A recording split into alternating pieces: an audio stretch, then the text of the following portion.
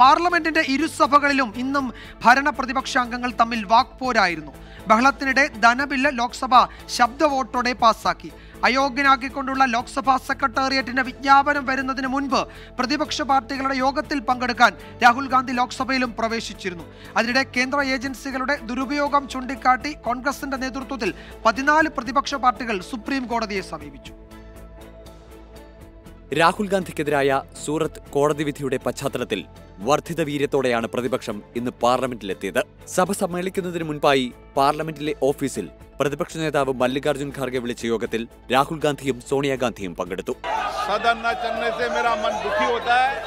सदन न चलने से मेरा मन दुखी होता है आप अगर सदन चाहे तो सदन की कार्रवाई आज 12 बजे तक के लिए स्थगित की जाती है ഭരണ പ്രതിപക്ഷ ബഹളത്തെ തുടർന്ന് ഇരു സഭകളും രാവിലെ ചേർന്ന ഉടൻ തന്നെ പിരിഞ്ഞു പന്ത്രണ്ട് മണിക്ക് ലോക്സഭ വീണ്ടും ചേർന്നപ്പോഴും പ്രതിപക്ഷം പ്രതിഷേധിച്ചു മോദി അദാനി ഭായ് ഭായ് മുദ്രാവാക്യങ്ങളും ജെ പി സി അന്വേഷണം ആവശ്യപ്പെട്ടുള്ള പോസ്റ്ററുകളുമായുള്ള പ്രതിപക്ഷ പ്രതിഷേധത്തിനിടെ ധനബിൽ മന്ത്രി നിർമ്മല സീതാരാമൻ ലോക്സഭയിൽ അവതരിപ്പിച്ചു ബില്ല് ചർച്ചയില്ലാതെ ശബ്ദ വോട്ടോടെ പാസാക്കി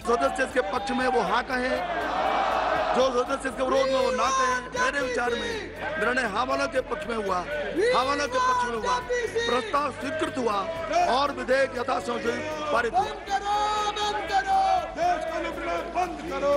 അതിനിടെ ലോക്സഭയിലെ തന്റെ ഇരിപ്പിടത്തിലേക്ക് രാഹുൽ ഗാന്ധി എത്തിയതോടെ രാഹുലിന് സംസാരിക്കാൻ അവസരം ആവശ്യപ്പെട്ട് പ്രതിപക്ഷം പ്രതിഷേധം കടുപ്പിച്ചു. ബഹളത്തെ തുടർന്ന് ഇരുസഭകളും തിങ്കളാഴ്ച വരെ പിരിഞ്ഞു. അതേസമയം E D C B I എന്നീ കേന്ദ്ര ഏജൻസികൾക്കെതിരെ പതിനാല് പ്രതിപക്ഷ പാർട്ടികൾ സുപ്രീംകോടതിയെ സമീപിച്ചു. കേന്ദ്ര ഏജൻസികളെ രാഷ്ട്രീയ എതിരാളികൾക്കെതിരെ ദുരുപയോഗം ചെയ്യുന്നുവെന്നാണ് പ്രതിപക്ഷ പാർട്ടികൾ ചൂണ്ടിക്കാട്ടുന്നത്.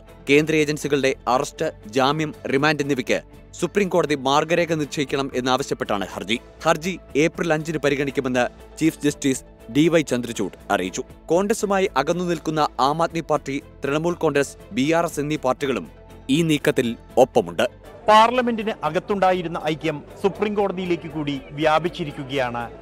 ഭിന്നതകൾ മറന്നുള്ള ഈ ഐക്യം എത്രത്തോളം മുന്നോട്ട് കൊണ്ടുപോകാൻ കഴിയും എന്നുള്ളത് കോൺഗ്രസിനെ സംബന്ധിച്ച് ഏറെ പ്രധാനപ്പെട്ടതാണ്. എ സി സി ആസ്ഥാനത്ത് നിന്നും മോഹൻകുമാറിനൊപ്പം ബൽറാം നെടുങ്ങാടി ട്വന്റി